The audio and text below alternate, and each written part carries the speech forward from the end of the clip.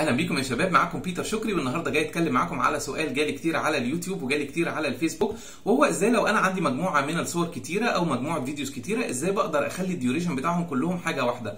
يعني عندي 10 صور عندي 15 صورة أو عندي 10 فيديوهات إزاي بقدر أخلي ال duration بتاع الحاجات دي كلها مرة واحدة duration معين؟ فطبعا لو مسكت صورة صورة أو مسكت فيديو فيديو الموضوع هيكون صعب جدا وهياخد مني وقت كبير جدا. ولكن أنا النهارده هقول لكم على طريقة تخليكم تظبطوا الصور دي كلها مرة واحدة أو ال videos دي كلها مرة واحدة. فيلا بينا نشتغل مع بعض.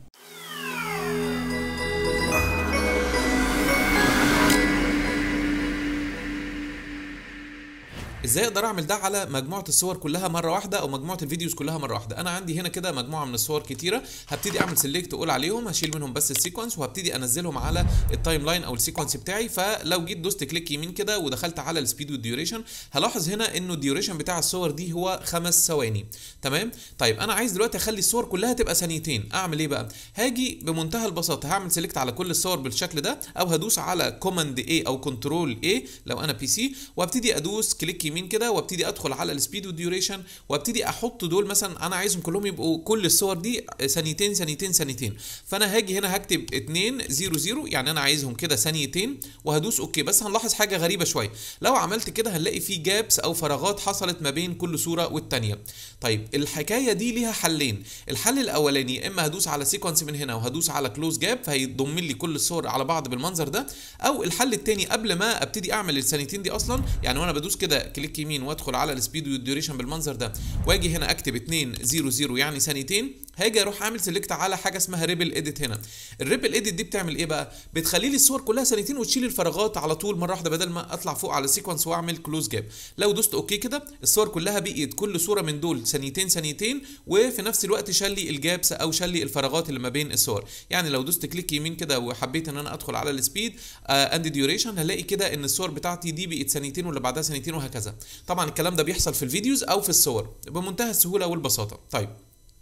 عندي كمان طريقة تاني من وأنا أصلا بجيب الصور بتاعتي من بره على طول. لو أنا دوست هنا كده على ال Premiere ودخلت على ال preferences ودخلت على ال timeline أو لو أنا طبعا ده علشان ال Mac لكن لو أنا PC بدوس على edit وبدوس على preferences بيطلع لي نفس القائمة دي بدوس منها أو بدخل منها على ال timeline بالمنظر ده.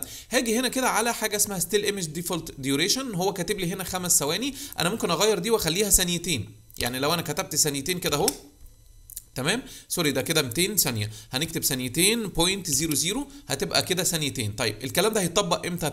لما أمسح الصور دي وأجيبها من بره تاني. يعني مش هيتطبق لو نزلت الصور من هنا. أنا همسح الصور كده وأبتدي أعمل import للصور دي مرة تاني. هدوس shift كده وهسحب كام صورة وأبتدي أعمل import لو حبيت انزل الصور دلوقتي هتلاقي ان الصور بتاعتي نازلة ثانيتين كل صورة. لو دوست click يمين وعملت speed و duration هلاقي الصورة بتاعتي نازلة ثانيتين. ليه؟ لأن أنا ظبطتها في ال setting إن أي حاجة هجيبها من بره صورة ثابتة اجيبها من بره هتبقى عبارة عن ثانيتين. فأنا عندي أكتر من طريقة لحل المشكلة دي يا شباب. ده كده بمنتهى البساطة يا شباب الدرس بتاع النهارده. أتمنى إنه يكون عجبكم ولو عجبكم الدرس يا ريت ندوس like على الفيديو ونشير الفيديو ده في كل وسائل التواصل الاجتماعي علشان الكل يستفيد.